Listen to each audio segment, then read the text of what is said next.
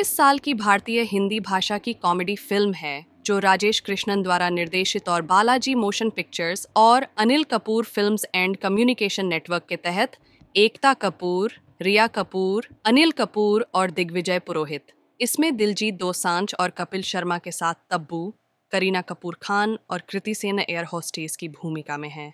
यह फ़िल्म इंचरीन मार्च 2024 को सिनेमाघरों में रिलीज़ के लिए तैयार है। यह कहानी कोहिनूर एयरलाइंस में केबिन क्रू के तौर पर काम करने वाले तीन मेहनती दोस्तों की है। उनके शांतिपूर्ण जीवन में तब बदलाव आता है जब वे अप्रत्याशित रूप से किसी गुप्त उद्देश्य वाले व्यक्ति द्वारा रचित कठिन परिस्थिति में फंस जाते हैं।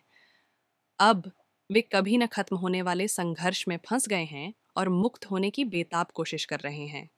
फ़िल्म की घोषणा नवंबर 2022 में की गई थी और फिल्मांकन मार्च 2023 को शुरू हुआ था। फरवरी 2024 में शूटिंग खत्म होने से पहले फ़िल्म की शूटिंग मुंबई, गोवा और अबू धाबी में की गई थी। फ़िल्म का संगीत दिलजीत दोसांझ, बादशाह, राज रंजोद, विशाल मिश्रा, अक्षय आई पी भार्ग रोहित ने तैयार किया है, जबकि background score John Stewart Eduri ने बनाया है।